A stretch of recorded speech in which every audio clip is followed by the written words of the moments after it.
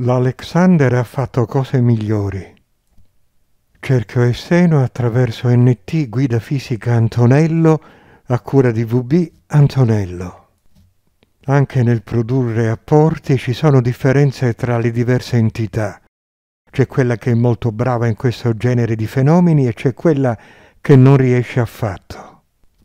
L'è una questione di bravura e di imparare le cose.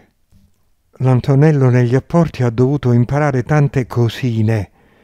L'Alexander ha fatto cose migliori, mi capite?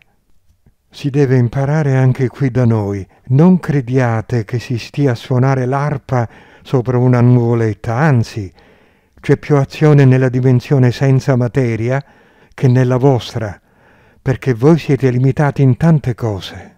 Nei movimenti, nello spazio, nel tempo, noi no.